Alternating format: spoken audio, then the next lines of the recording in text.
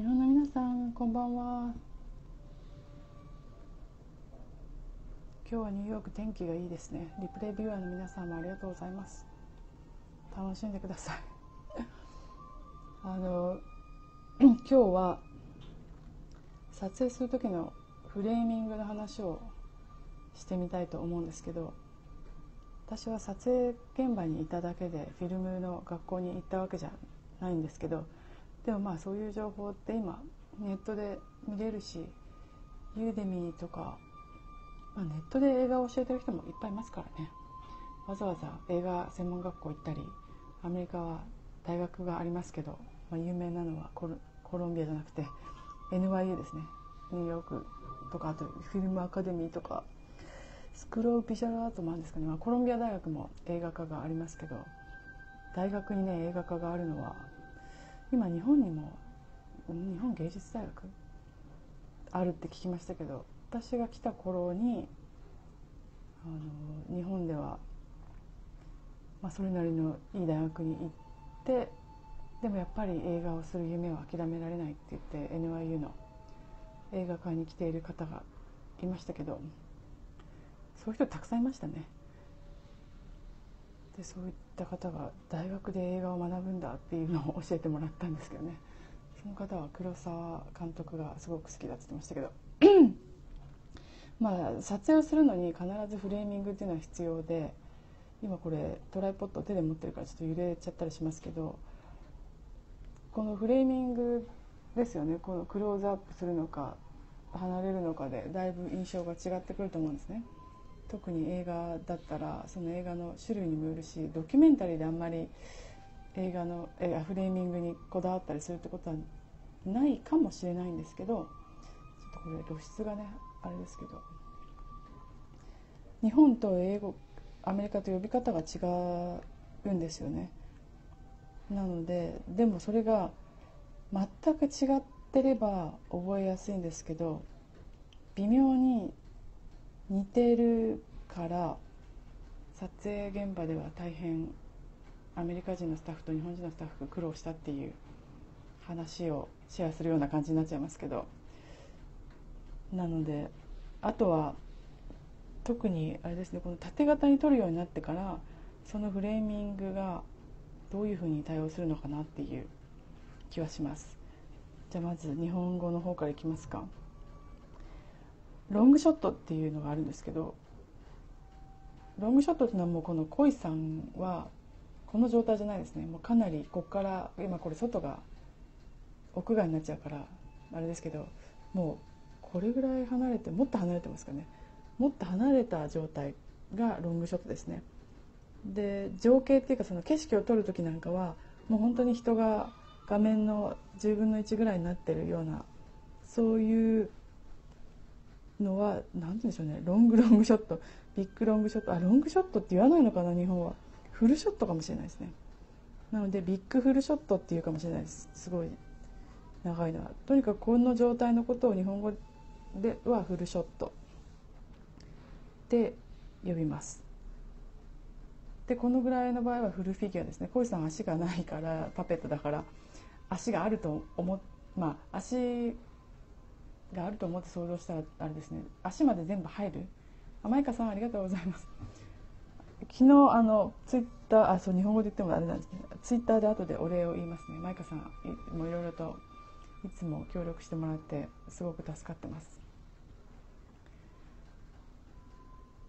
まあ、小石さんの足だと思ってその下の部分が足だと思って考えると足,、ま、足から頭まで全部入っ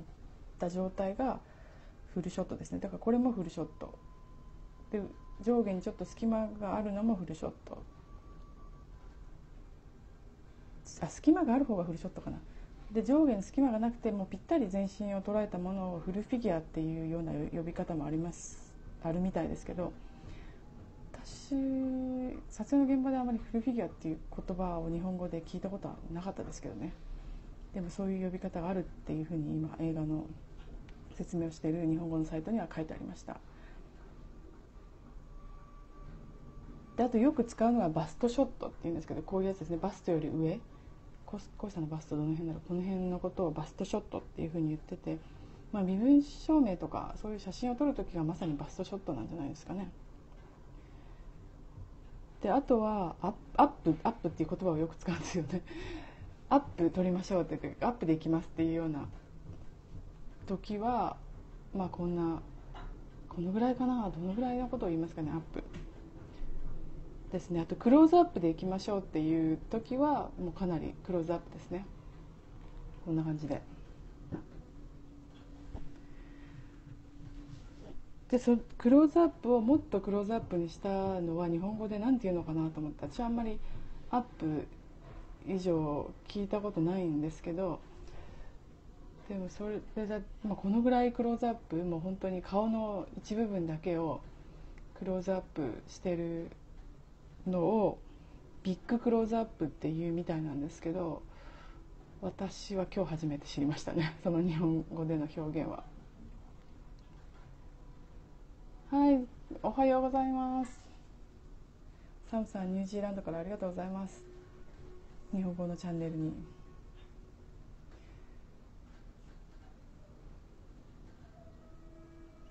で英語だと似てるからねこれすごく難しいと思うんですけど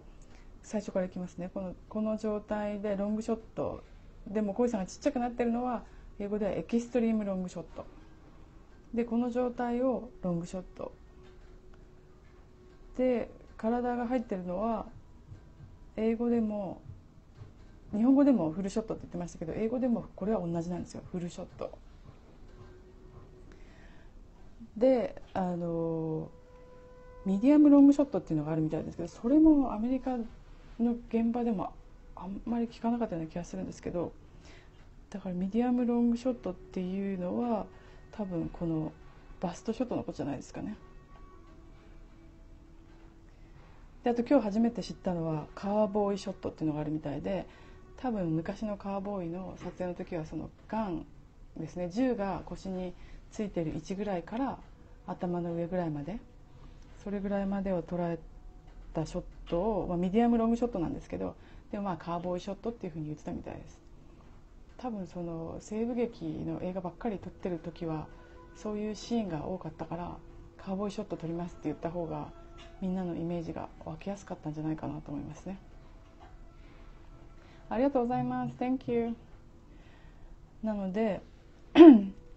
今カーボーイショットなんて聞いたことないし今日初めて聞いたんですけどだから、うんまあ、時代性とかもあるかもしれないですね現在カーボーイのシーンを撮ったりするのはないから「まあ、バック・トゥ・ザ・フューチャー3」みたいにカーボーイのシーンを撮る場合には使えるかもしれないけど でも撮影のスタッフとかクルーが西部劇を知らないような人たちだったらわからないですよね。でミディアムショットっていうのは通常、まあ、バストよりちょっと上ぐらいですねこれぐらいがミディアムショット。あでもこれミディアムクローズアップっても言うかもしれないですね。だからその辺りはやっぱりセンスなんじゃないですかね。だからプランを立てる時にはそのシーンあの何でしたっけストーリーボード？日本では絵コンテかな？日本でもストーリーボードっていうと思いますけどその絵コンテとかあと自分たちの書いておいて覚書みたいに。でそれで撮影する時にそういうものを撮っていくってことですね。おはようおはようございます。日本ですかね。あ日本じゃないか。おはようだから。西海アメリカですね。であのミディアムクローズアップっていうのが、まあ、顔全体ぐらいを映すものであこうんミディアムとクローズアップは同じぐらいですね。でこの顔の部分だけを映すようなのをエキストリームクローズアップでよくなんだろうスリリングな映画だったりっていうとこうかなりこう目をクローズアップして撮るのありますよね。ああいうのはアイラインとかアイショットとかっていうふうにも言うみたいですけど、まあ、エキストリームクローズアップでいつも住んでるような気がしますけどね、まあ、そういうシーンを考えて撮ってみるっていうのもあの自分のビデオを編集する時に役に立つんじゃないかなと思います。でもこれ人をなんか例にしてシーンの説明してますけど例えばたあのスイーツのを紹介するブログのビデオを作りたいとかっていう時にも使われると思うんですよね。撮影のコツとしてはやっぱり自分の目線と同じで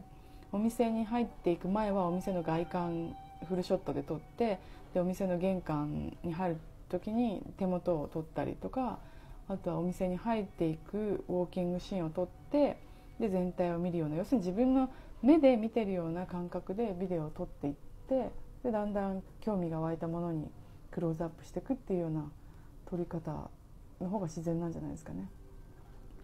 ただ映画の場合はストーリーによってそれをわざと逆にしたりすることもあるし面白くしたりスリリングにしたり悲しい感じにしたり楽しい感じにしたりとありますけどね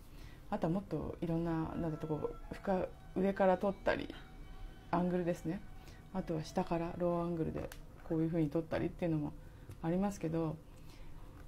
素人って言ったら変ですけど最初に YouTube で撮ったりする時はあんまりアングルはねつけない方がいいと思います。難しいというか